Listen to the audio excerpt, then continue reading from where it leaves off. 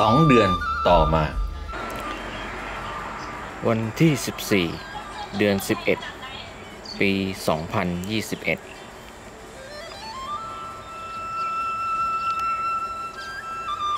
ห้าเดือนต่อมา วันที่ 16 เดือน 4 บอนไซ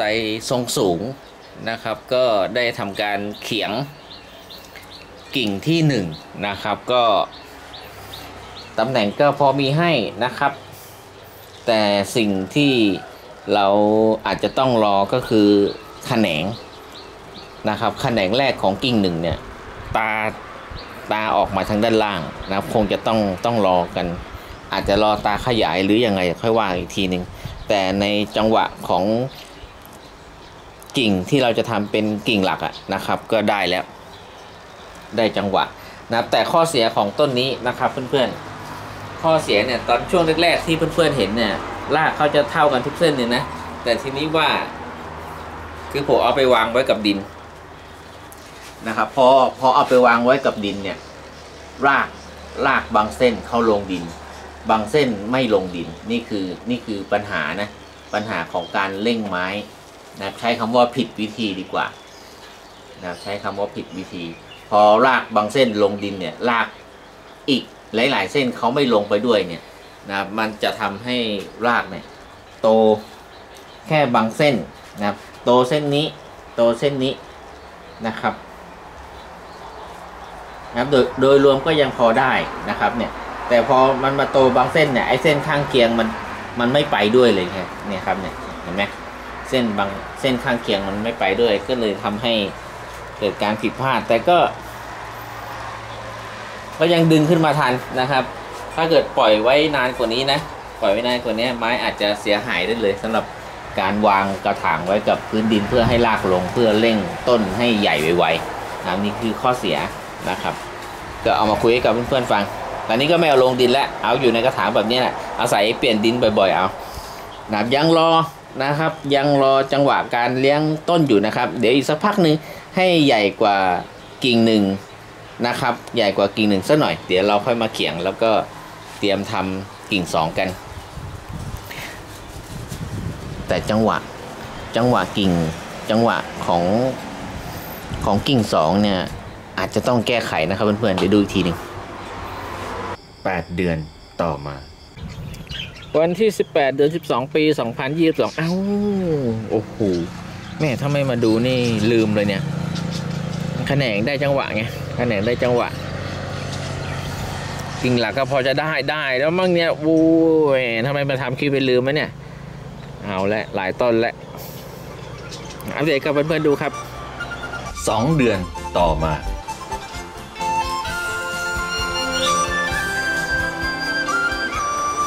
สวัสดีครับเพื่อนๆแฟนๆเมกะบอนไซมาชมต้นนี้กันอีกสักครั้งหนึ่งนะครับคลิปการเริ่มต้น คลิปเริ่มต้นการสร้างบอนไซสูงสูงภาค 2 นะครับ เมื่อภาคที่ 1 เราออกไปเมื่อประมาณ 1 ปีที่แล้วนะครับ 1 ปีที่ผ่านมานะครับผมอาจจะมีถ่ายเก็บไว้บ้างนะนะครับ อัปเดตให้เพื่อนๆดูได้เล็กน้อยนะครับ แต่ว่าตั้งแต่เปิดภาคที่ 1 มานะครับจนมาภาคที่สองเนี่ยนะครับก็คือประมาณหนึ่งปี นะหนึ่งปีเราได้อะไรไปบ้างโอ้โหเยอะแยะเลยนะครับเมื่อภาคที่หนึ่งเรามีแค่เขียงที่หนึ่งนะภาคที่สองเนี่ยเราเขียงสองไปแล้วนะครับ แล้วก็เตรียมที่จะเขียงสามนะเขียงสามเตรียมตาไม้ไว้แล้วนะครับเดี๋ยวเด็ดให้ดูนะครับนี่นะนี่ตามตาไม้ตานี้นะครับเออต่ำต่ำไปจะไม่สวยนะมันชื่อก็บอกแล้วว่าจะทำทรงสูงนะครับตั้งใจให้มันดูปลอดโปร่งโล่งๆนะครับสบายสบายตา ก็เลยจะทำทรงสูงๆหน่อยนะครับแต่ก็มีกิ่งนู่นนี่นั่นนะครับครบเต็มอัตราศึกเหมือนกันนะครับ ไม่ใช่ว่าอันไหนเนี่ยนะกิ่งนี้น่าจะเป็นนะน่าจะเป็นเต้ากิ่งอันไหนเดียเดี๋ยวค่อยว่ากันนะครับ กิ่งสองเดี๋ยวค่อยว่ากันนะครับมันยังไม่ใหญ่ร้อยหน่อยนะครับ แล้วก็กิ่งหนึ่ง กิ่งสองต้นอ่อสองกิ่งเนี้ยนะครับที่เราทำเป็นกิ่งสองแล้วก็ต้นเนี่ยนะครับเดี๋ยวรออีกนิดนึงนะครับส่วนส่วนต้นนี่กำลังโตแบบระเบิดระเบ้อเลยนะครับเดี๋ยวรออีกหน่อยนะครับเราได้ทำการเขียงสามนะกดทนรอสักหน่อยนะครับ รอต้นไม้หน่อยนะครับแล้วก็อีกสักหน่อยนึงไม่นานเท่าไหร่นะครับ เราก็คงจะได้เขียงที่หนึ่งนะครับของกิ่งสองแต่วันนี้เรามาดูกิ่งที่สามนี่ จังหวะนะครับเขียงหนึ่งนะครับเขียงสองนะครับรอเขียงสามนะครับเดี๋ยวก็ได้แล้วนะครับแขนงแรกนะครับแขนงแรกเขียงหนึ่งไปแล้วนะครับ เตรียมทำกิ่งหลักห้อยลงไปแล้วก็มีแขนงออกมา เดี๋ยวนะ ขอเลือกกิ่งก่อน เดี๋ยวค่อยมาดูใกล้ๆนะครับเพื่อนๆเดี๋ยวก่อน ขอตั้งกล้อง ถ่ายไว้ก่อน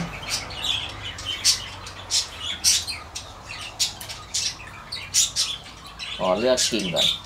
นะกิ่งที่เป็นแขนงอะแขนงแรกอยู่ด้านในด้านในต้นนะครับกิ่งแรกเนี่ยด้านในต้นนะครับยกสูงขึ้นมาสักหน่อยนึงนะครับ เพื่อให้แขนงมันยก และกิ่งหลัก เลือกกิ่งที่มันที่มันจะห้อยลงไปอะนะเพราะมันมีหลายกิ่งใช่ไหม เราก็เลือกกิ่งที่มันจะห้อยลงไปเอากิ่งไหนดีวะเนี่ยนี่กิ่งนี้นะเราก็เลือกที่มันจะห้อยลงไปนู่นกิ่งไหนไม่เอาเราก็ตัดออกไปโอเค นี่ร้อยเขียงไปแล้วนะนะแนวเขียงไปแล้วเพราะเพราะว่าผมทำจังหวะมันกว้างไปนะครับมันกว้างไปก็เลยมีการแก้ไข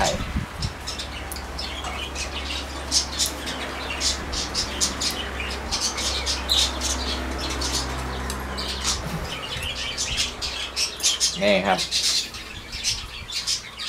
เดี๋ยวเรามาเข้าลวดกัน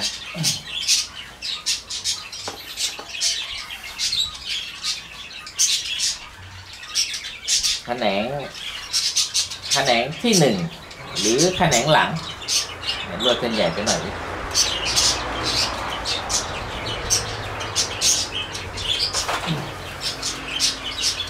กิ่งมันก็ไม่ถือกันไม่ถึงก็ขนาด ขอเป็นใช้รวดเบอร์เล็กสุดก็แล้วกันนะครับ 0.8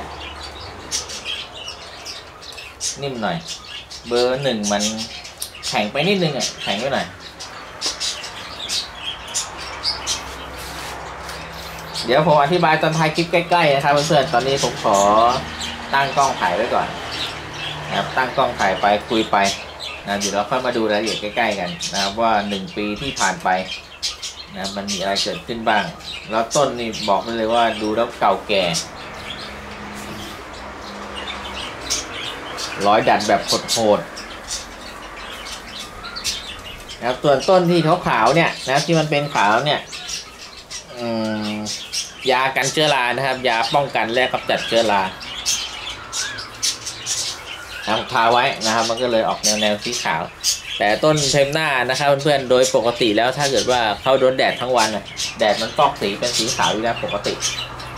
นะแต่ว่าอันเนี้ยถ้าเกิดกินใหม่ๆเนี่ยมันก็จะเป็นสีลักษณะเนี้ยโอเคแขนงจัดไปนะครับสั้นยาวตามส่วนนะครับของกกกิ่งปลายกิ่งนะมันก็ต้องสั้น ยาวก็ต้องสั้นลงสั้นลงสั้นลงสั้นลงไปตามระยะนะจะมายาวยาวยาวยาวเท่ากันน่ะไม้มันก็ไม่สวยมันก็ไม่จบได้ทีมันเข้ากันหมดอะนะแน่นอนครับ เหมือนกับต้นที่ผมบอกอะจากต้นมากิ่งหนึ่งจากกิ่งหนึ่งไปกิ่งสองจากกิ่งสองมากิ่งสามเนี่ยให้มันหดเป็นระยะระยะไปนะครับ มันก็จะดูดีนะแต่ถ้ามันเท่าๆกันมันก็จะไม่ค่อยสวยเท่าไหร่หรือใกล้ใกล้เคียงกันก็พอได้นะครับ แต่ว่าถ้ามันเท่ากันมากหรือว่าจากหนึ่งไปสอง สั้น เอ้ยจากจากโค้นไปหนึ่งสั้น แล้วพอจากหนึ่งไปสองยาวเนี่ยอันนี้ผิดส่วนเลยนะผิดส่วน ผิดส่วน ผมใช้คำว่าผิดเลยแต่มันผิดส่วน ถ้าทำอย่างนั้นผิดส่วน ไม้ไม่สวยกกใหญ่ปลายเล็กนี่ไม้ไม้สมส่วนไม้ถูกส่วนนะครับเอ้ยกกเล็กปลายใหญ่เลยไม่ไม่ได้ไม่ได้ไม่ได้ กกใหญ่กกกกกกกกเล็กเนี่ยปลายจะมาใหญ่ไม่ได้ มันผิดส่วนน้ำปกใหญ่ๆนะปกผายๆนะครับปลายเรียวๆนะครับแน่นอนครับพอกกผายปลายเรียวแน่นอนออกิ่งจังหวะกิ่งแต่ละกิ่งที่มันเกิดขึ้นน่ะมันก็ต้องสั้นลงสั้นลงให้เป็นจังหวะนะเป็นจังหวะ แล้วก็ผมเคยทำคลิปแล้วก็คุยแบบนี้อยู่บ่อย ๆ นะครับเพื่อนๆแต่บางทีผมก็กลัวเพื่อนๆจะเบื่อ มันพูดเหมือนกันหมด มันพูดเหมือนกันหมด พูดกันเหมือนทุกคลิปอะมันก็เหมือนเหมือนกันแหละนะครับ การทำบอนไซมันเหมือนกันหมดอะยิ่งคนเดียวกันด้วยนะ คนเดียวกันสวนเดียวกันแล้วมันดูในคลิปอะ แล้วลักษณะการทำไม้มันจะก๊อปปี้เหมือนกันหมดทั้งสวนแหละนะการทำกิ่งวางกิ่งแต่ต่างๆ แต่ละแต่แต่ละต้นเนี่ยตัวอยากจะเหมือนกันหมด แล้วถ้าเกิดว่าอยากจะดูความแตกต่างว่าว่าบอนไซเนี่ยมันทำแบบนี้แล้วมันมีอย่างอื่นต้องทำอีกไหมอันนี้ต้องย้ายไปดูอีกสวนนึงว่าลายมือแต่ละคนเนี่ยไม่เหมือนกันนะขึ้นอยู่กับว่า เราชอบนะครับเราชอบการทำไม้แบบไหน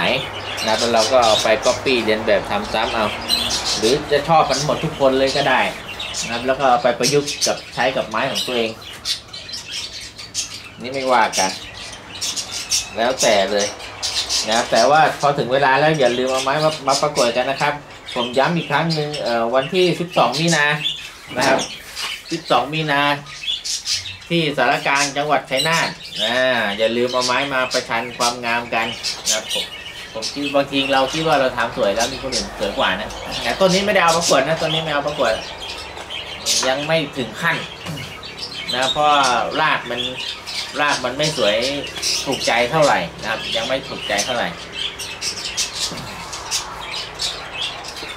คราวก่อนนั้นนะวางอยู่กับดินนะโอ้โหแบบรากที่มันลงดินไปแล้วมันลงดินลงดินไปเส้นเดียวอะมันโตอยู่เส้นเดียวอะ เส้นอื่นมันไม่โตอะนะครับ อันนี้คือข้อเสียของวางกระถางไว้ที่ดิน เพื่อเร่งให้ต้นไม้มันโตแม่งไม้เอเออรากไม้อะ มันลงออกจากกระถางมันลงไปเส้นเดียวพอมันลงไปเส้นเดียวไม้มันก็โตใช่ไหมครับ แต่รากอะมันก็โตอยู่เส้นเดียวนะครับพอรากโตเส้นเดียวมันก็ไม่สวยอีกนะครับ เนี่ยคือการเลี้ยงไม้กับดินเนี่ยมันมันมีข้อดีอย่างเดียวเลยนะข้อดีอย่างเดียวเลี้ยงไม้กับดินเนี่ย ข้อดีของมันก็คือไม้โตเร็ว แต่ข้อเสียนี่โคตรเยอะเลย แล้วข้อเสียแต่ละอย่างนี่ มันไม่ใช่ข้อเสียอย่างเดียวนะ ไม้เสียด้วย ไม้มันเสียด้วยนะครับเพื่อนเลี้ยงเลี้ยงไม้ก็ดินมีดีอย่างเดียวเอง มีดีก็โตเร็วแค่นั้นเองนอกจากนั้นนี้ก็เสีย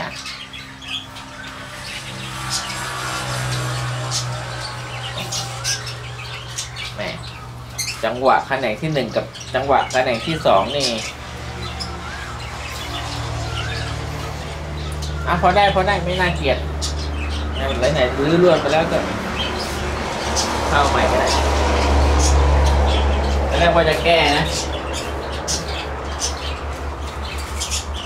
ตอนแรกว่าจะแก้ไม่แก้แล้ว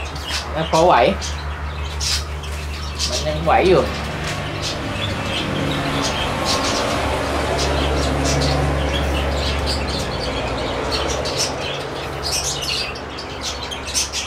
คือจังหวะของข้อ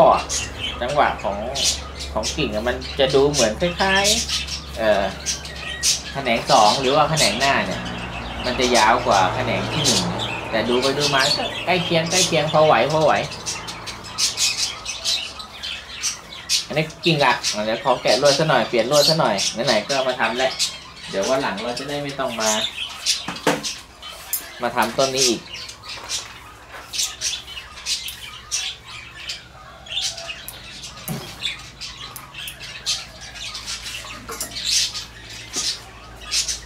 ตอนนี้นี่ผมเอาต้นนี้วางอยู่กลางแดดทั้งวันเลยนะ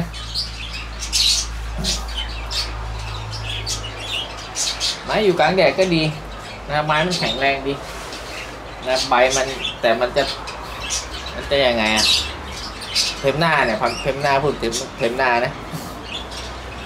ใบมันจะดูแข็งแรงแข็งแรง แต่ว่ามันจะไม่ค่อยละเอียด มันละเอียดแต่ว่ามันมันไม่สวยมันไม่สวยเท่าเลี้ยงกักในสแลน นะสำหรับเพมหน้านะนะครับสำหรับเพมหน้านะเลี้ยงในสแลนมัน ดูไม้มัน มันดูมันอ่อนแอกว่าก็จริงอะแต่ว่ามันมันมันสวยดีใบเบยมันมันดูดี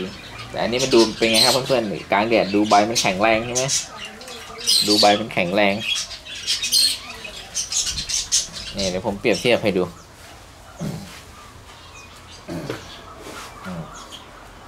นี่ไม้ไม้กลางแดด ไม้กลางแดด นี่ไม้ในสแลนเห็นไหมครับใบใบมันจะไม่เหมือนกันนะ ใบมันจะไม่เหมือนกัน อันนี้ไม้พวกนี้นี่เพิ่งจะฟื้นนะเนี่ยเพิ่งจะฟื้น ฟื้นจากเพลี้ยเพลี้ยลุมคราวคราวก่อนโน้นที่ผมทำคลิปเรื่องเพลี้ยไปแหละนะเพิ่งจะเบานะเนี่ยสาเหตุที่เบานี่เพราะว่า ฉีดยาทุกอาทิตย์นะ ฉีดยานอกทุกอาทิตย์เลย สารพัดอย่างที่ลองทำมาแล้วมีผลเสียกับต้นไม้พอสมควร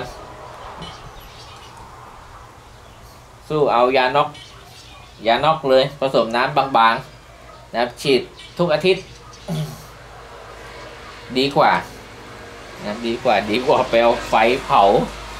ไปเอาไฮเตอร์ถาไฮเตอร์ถาบางทีมันกินอยู่ตามใบอะไรพวกนี้นะ แล้วก็เผลอไปทาเอาไปฉีดเอาไปพ่นใบเบยไหม้หมดต้นมงต้นไม้ตายชิบหายหมดโอ้โห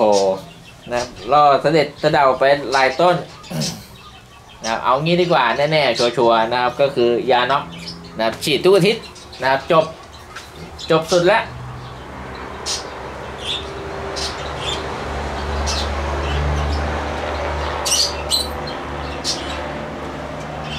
แน่ กิ่งหลักค่อยลงไปนะปรับให้ได้องศาตรงกลางๆนี่ตรงกลางๆนะตรงกลางเตรียมตาไม้ไว้บิดไว้ให้ดี ให้พร้อมแขนงยกสูงหน่อยกิดที่จะทำกิ่งหลักลงมาก็บิดให้มันได้องศาเท่าหน่อย 60 ก็ได้ 60นะครับแขนงเตรียมยกขึ้นไงแล้วกิ่งหลักเตรียมกดลงไงนะครับแล้วก็เตรียมตาไว้เลยเอียงเอียงตะแคงตะแคงไว้อย่างเงี้ยประมาณนี้เลย เนี่ยได้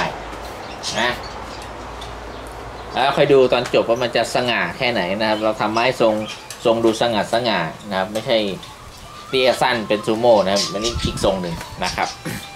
มาเดี๋ยวเรามาดูใกล้ๆกันดีกว่า โอ้โหแบตจะหมดก็จะทำอีกสักสองสามคลิปอาทิตย์นี้ เดี๋ยวค่อยว่ากันนะครับ เดี๋ยวเดี๋ยวทำคลิปตัวนี้ก่อน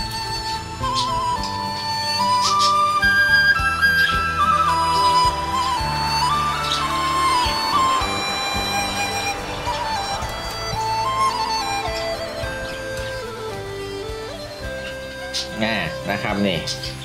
มาละท่านเพื่อนจะเห็นนะนี่ครับ เต้านะครับ เต้ากิ่ง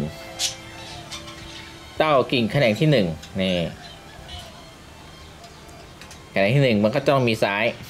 นะครับ เตรียมทำขวานี่เตรียมทำขวาตรงไหนวะเนี่ยแหมบิดตาไม่ถึง